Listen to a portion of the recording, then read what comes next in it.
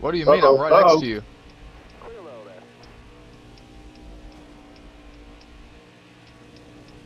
I respect it.